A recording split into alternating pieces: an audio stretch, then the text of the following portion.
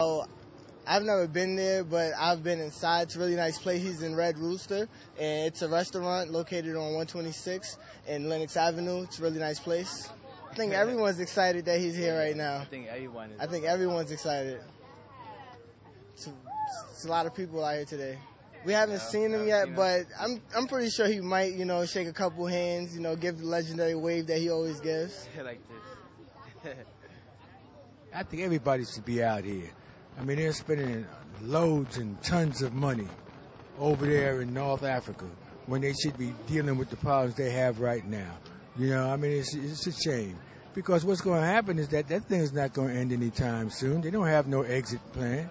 You know, what they put in motion can develop into a whole lot of things that will require ground troops and all that.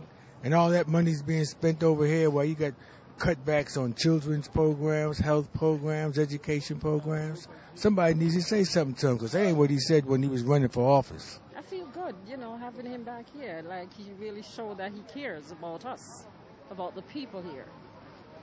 I'm excited that Obama's here because you don't see too many. You you don't never have a president here on Harlem, and it's good to see a first black president in Harlem showing love.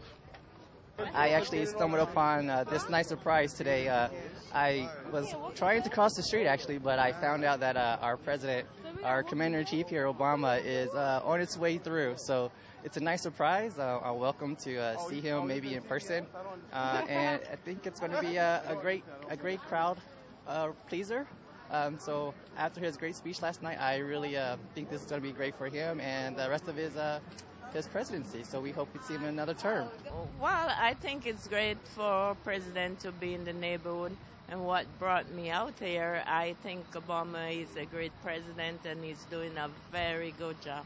It's nice that he came here because, you know, the people in Harlem work a lot to get him in there. So, you know, whenever he comes here, you know, it's like appreciation and respect.